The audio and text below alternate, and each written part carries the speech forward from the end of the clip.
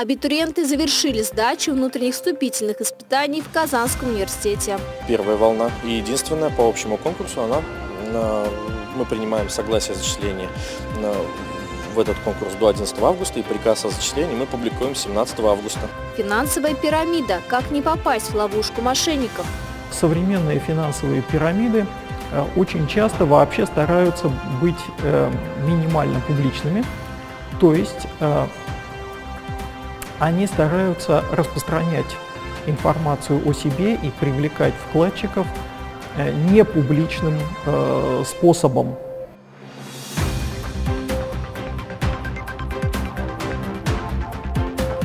Всем привет! В эфире «Универ Ньюс» а в студии Елизавета Никитина.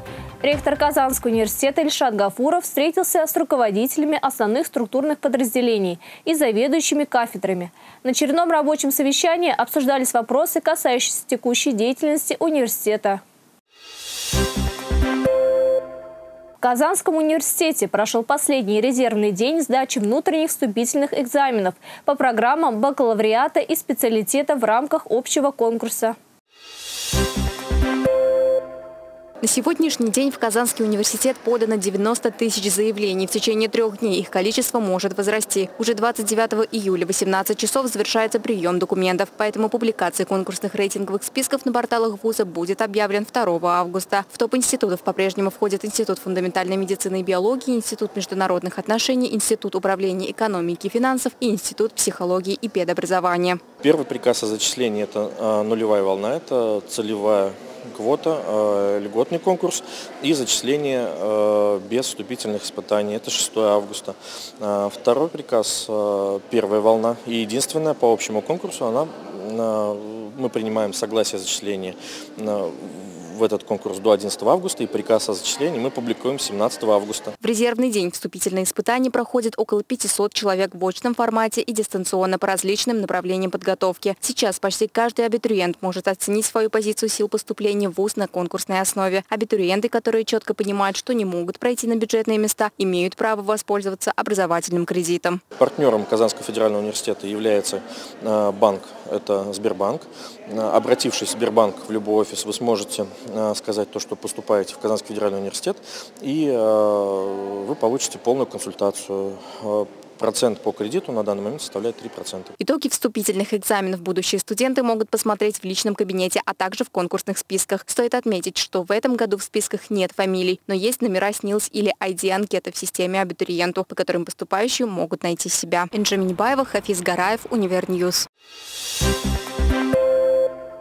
Выпускница Института психологии и образования Казанского федерального университета Алия Ягафарова выиграла грант фонда «Фулбрайт» – крупнейшей международной обменной программы в области образования. Она вошла в число 30 россиян, получивших престижную стипендию. О возможностях получения магистрского образования по грантам за границей Алия Ягафарова узнала во время обучения на третьем курсе в КФУ и стала готовиться, участвовала в конференциях, проводила исследования – писала научные статьи. К окончанию учебы в университете в ее портфолио были уже 10 статей, опубликованных в научных журналах. Наверное, самое такое основное отправное было то, что я а, поняла, что это возможно, что возможно учиться за границей, в магистратуре бесплатно, по гранту.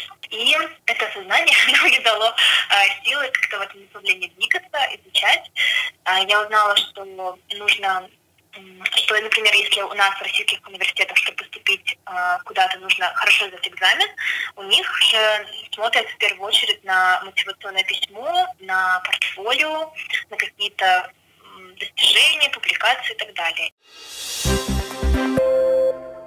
Почему количество финансовых пирамид в последнее время увеличивается и как не попасть на удочку мошенников, обещающих огромную прибыль? О системе обмана и не только смотрите далее. Желание быстро и много заработать, наверное, было у многих. Человек так устроен, что не перестает верить в сказку. Однако поймать на свою удочку мошенникам несложно даже состоятельного или состоявшегося человека. К сожалению, финансовое мошенничество не стоит на месте. Технологии финансового обмана прогрессируют и каждый раз появляются все новые и новые способы убедить человека вложить свои деньги. Так по каким же признакам все-таки можно распознать финансовую пирамиду? Во-первых, это нереально завышенные обещания. Обещания, которые, ну, очевидно, не соответствуют нормальному уровню доходности – Э, по обычным э, финансовым инструментам. Второй момент, который должен насторожить, это наличие или отсутствие у компании лицензии или иного разрешения со стороны Центрального банка на осуществление той или иной финансовой деятельности. Любая финансовая деятельность, тем более связанная с привлечением средств от физических лиц, осуществляется исключительно по лицензии, предоставленной Центральным банком Российской Федерации. Есть ли у данной компании лицензия или ее нет, можно легко проверить на сайте э, Центрального банка. Э, там содержатся реестры всех лицензированных им организаций. Если компания лицензии не имеет, значит нужно задуматься о том, что в данном случае вы сталкиваетесь либо с откровенным мошенничеством, либо с каким-то серым рынком финансовым, Третий важный признак, по которому можно распознать финансовую пирамиду, это непрозрачность организации. Финансовые мошенники никогда не раскрывают смысл своей деятельности. Они не рассказывают, как они зарабатывают деньги, за счет чего они собираются выплачивать доходы вкладчикам, а также не дают никакой информации о руководстве и владельце организации. Современные финансовые пирамиды э, очень часто вообще стараются быть э, минимально публичными, то есть э, они стараются распространять информацию о себе и привлекать вкладчиков э, непубличным э, способом, то есть обращаясь индивидуально к человеку, э, распространяя информацию через социальные сети – избегая средств массовой информации. Стандартный срок службы пирамиды – несколько месяцев. Это время достаточно, чтобы охватить потенциальную аудиторию и при этом оставаться в тени. Как только пирамида становится слишком публичной или слишком заметной, она закрывается. Елизавета Никитина, Радмир Софиулин, Универньюз. В рамках празднования Дня российской науки в Казанском федеральном университете состоялся фестиваль студенческих объединений. До начала торжественной части мероприятия студенты представили презентационные площадки структурных подразделений вуза. Смотрим! Дать прогноз погоды с помощью метеолокатора, определить горную породу и освоить азы китайской письменности. Все это можно примерить на себе всего за несколько часов и погрузиться в самые далекие тайны многогранной науки в Казанском университете. Посетил интерактивные площадки и ректор Ильшат Гафуров. Так, например, студенты предложили ему расследовать преступления с помощью виртуальной программы.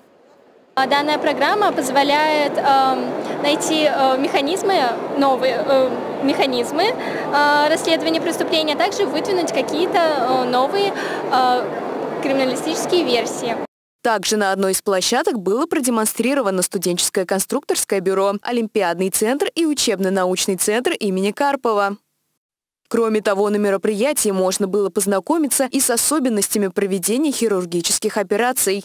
Было э, показано, как проводится операция на сердце, э, как, э, как можно наложить шов на кожу, на некоторые другие органы. Один из наших кружковцев э, накладывал шов на сухожилие. То есть тоже достаточно очень интересно, всем было посмотреть. На площадке Института социально-философских наук и массовых коммуникаций Ильшату Гафурову предложили попробовать себя в роли журналиста и взять интервью у студента Высшей школы журналистики и медиакоммуникаций Казанского университета. Интервью было проведено и записано командой студенческого телеканала «Универ ТВ» в этом импровизированном зале под студию Завершилась встреча праздничным концертом, где Ильшат Гафуров в своем выступлении обратился к студентам, призывая их активно принимать участие в деятельности научных обществ, кружков и объединений вуза.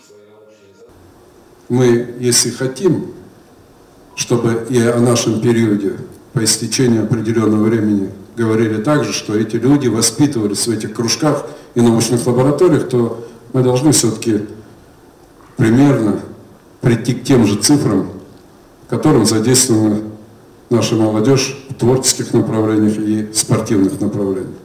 С помощью символической кнопки был дан старт перезагрузки студенческой науки в Казанском университете. Диана Шленкова, Виолетта Басова, Фариза Хитоглы, Универньюз. На этом все. В студии была Елизавета Никитина. Сюжет из выпуска ты сможешь найти в наших социальных сетях, а также на сайте телеканала. До новых встреч!